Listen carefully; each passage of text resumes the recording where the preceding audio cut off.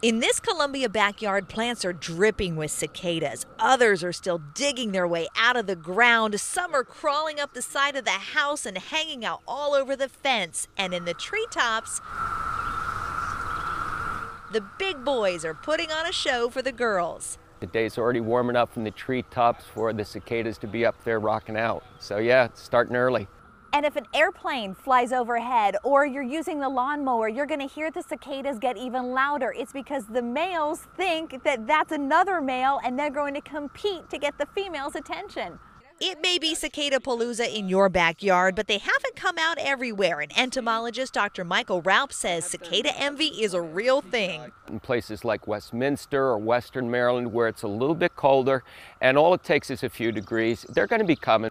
And for wildlife, it's like an all you can eat buffet. This red tailed hawk has been busy feeding its new family a steady cicada diet. Birds, in particular, squirrels, raccoons, foxes have been excavating lawns. Um, reptiles will eat these, turtles, amphibians. So everything's going to want to eat a cicada. And we asked Dr. Raupp about the zombie cicada, and it's even worse than you think because before it loses the lower half of its body, it loses its mind, infected with a fungus called Massospora.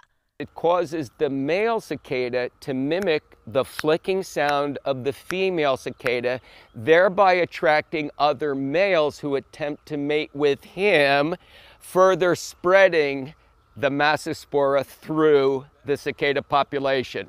Boom. And like the cicadas, that's something to chew on.